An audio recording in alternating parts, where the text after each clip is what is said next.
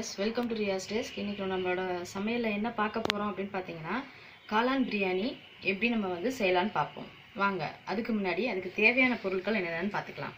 நான் காளான் வந்து ஒரு பாக்கெட் வந்து வாங்கி வச்சுருக்கேங்க. அதுக்கப்புறம் பார்த்தீங்கன்னா ஒரு பெரிய வெங்காயம் அதை வந்து நீள நீளமாக கட் கட் பண்ணி வச்சுக்கிறோம்.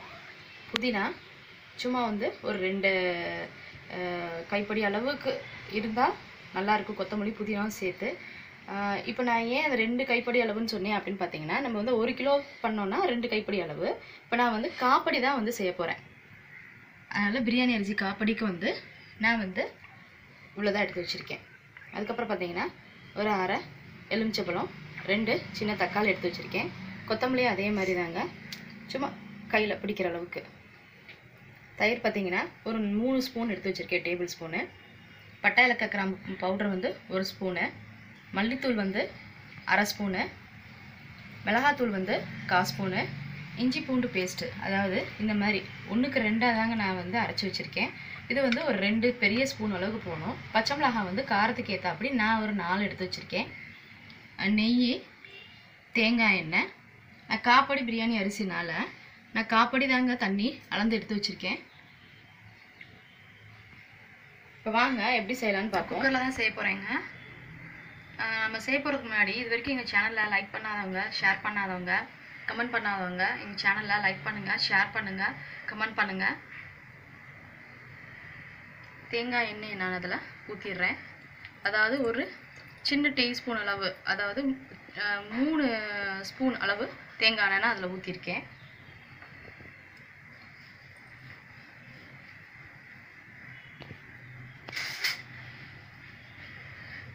அதுக்கப்புறம் பார்த்திங்களா நெய் பியோர் நெய்ங்க. அதையும் அதில் நான் ஊற்றுறேன்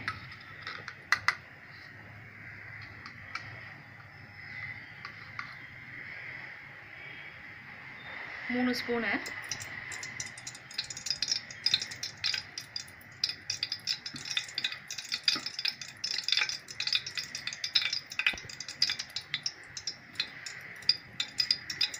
உங்களுக்கு வேணும்னா நீங்கள் வந்து முந்திரி பருப்பும் கிறிஸ்மஸ் பழமும் சேர்த்துக்கலாம். நல்லாயிருக்கும் இப்போ நான் அதில் வந்து பெரிய வெங்காயம் போட்டுறேன்.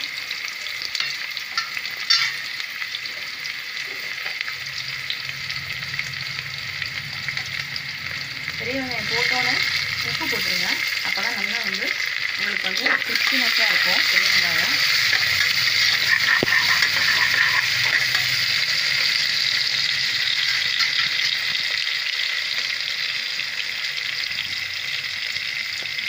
இதோடய சேர்த்து நீங்கள் பச்சை மிளகாவும் நீங்கள் வந்து அதில் போட்டுடலாம்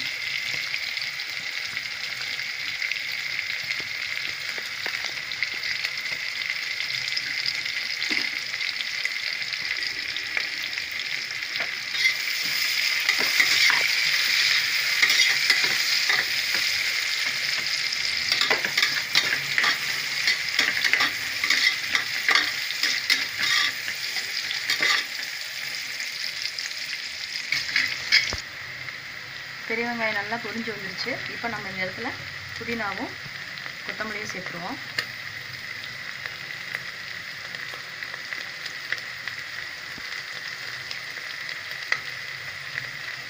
இதில் வந்து ரெண்டு பெரிய தக்காளியை இந்த மாதிரி கட் பண்ணி போட்டுக்கோங்க.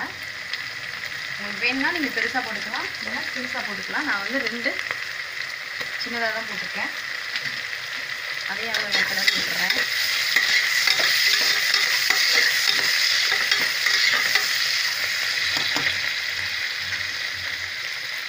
இப்போ பார்த்தீங்கன்னா இந்த ஸ்டேஜில் நான் ஒரு ஒரு ஸ்பூன் அளவு பட்டலக்காய் கிராம் பவுடர் எடுத்துருக்கேன். அதில் நான் போட்டுறேன். அந்த கலரே நல்லா மாறும்.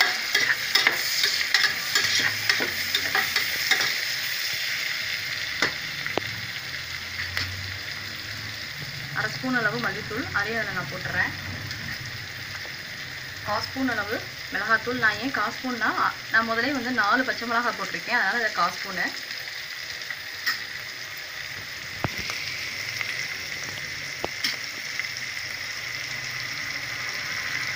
பாருங்கள் இஞ்சி பூண்டு பேஸ்ட்டு ஒன்றுக்கு ரெண்டாக அரைச்சி வச்சுருக்கேன்.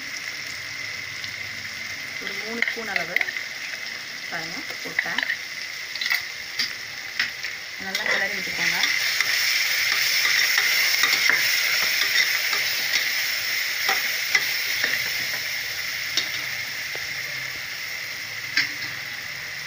இதோட சேர்த்து ஒரு சின்ன கப்பளவு தயிர் அதில் போட்டுருங்க. கொஞ்சம் நேரம் வேகட்டுங்க. இந்த மாதிரி நல்லா கழுவி விட்டுக்கோங்க தயிர் போட்டதுக்கப்புறம். இப்போ நான் வந்து அதில் காளான அதில் போட்டுறேன். காளான் போட்டோன்னே இந்த ஒரு அரை எலுமிச்சப்பழம் இருக்கு இல்லையா? அந்த அரை எலுமிச்சப்பழத்தை அதில் புளிஞ்சுட்ருவோம் நல்ல சாஃப்ட்னஸாக இருக்கும். சாதமும் நல்லா புழு புழுன்னு வரும்.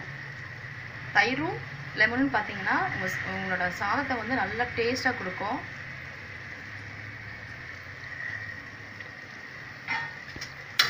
கிளறி விட்டுக்கோங்க கொஞ்சம் காளான் வைக்கணும்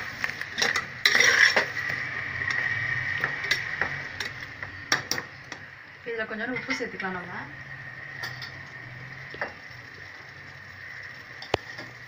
உங்களுக்கு தேவையான அளவு உப்பு சேர்த்துக்கோங்க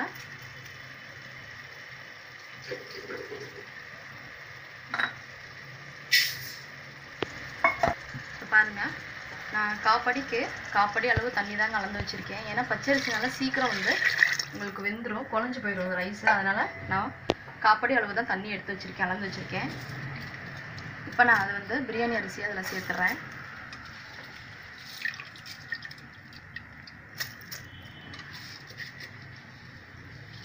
ரெண்டே ரெண்டு விசில் விட்டால் போதுங்க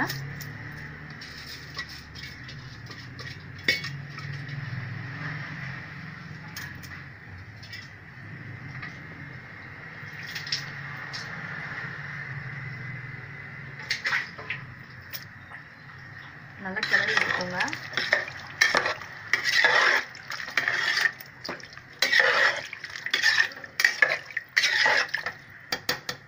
இப்போ இந்த இந்த டைமில் கொஞ்சோண்டு கடைசியாக போட்டுக்கோங்க. சும்மா ஒரு கால் ஸ்பூன் அளவு போட்டு நல்லா மிக்ஸ் பண்ணிக்கோங்க.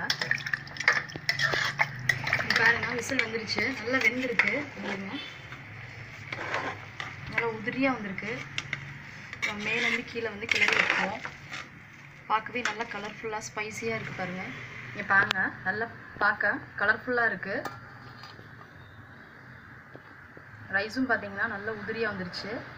காளானும் பார்த்தீங்கன்னா அப்படி முழுசாகவே இருக்குது ஏன்னா தண்ணி நம்ம கம்மியாக வைக்கும் போது இந்த டேஸ்ட் நல்லா கிடைக்குங்க. உங்களுக்கு பார்க்கவும் நல்லா இருக்கும் சாப்பிடவும் நல்லா சாஃப்டாக இருக்கும்.